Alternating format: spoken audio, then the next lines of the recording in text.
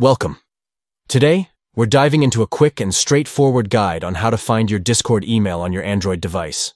Whether you've forgotten it or just need to confirm, these steps will help you easily locate your email associated with your account. Let's get started. First, open the Discord app on your Android device. If you haven't done so yet, make sure you're signed into your account. Once you're in, look for your profile picture located in the bottom right corner of your screen. Just tap on that to access your user settings. Next, you'll see a gear icon at the top right corner. Go ahead and tap that gear icon to open the settings menu. This is where you can modify your account-related settings. Now, from the settings menu, scroll down and tap on Account.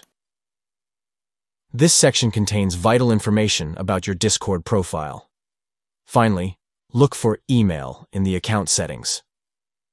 Right there, next to it, you'll see the email address linked to your Discord account. It's as simple as that. And there you have it. You've successfully found your Discord email on your Android device.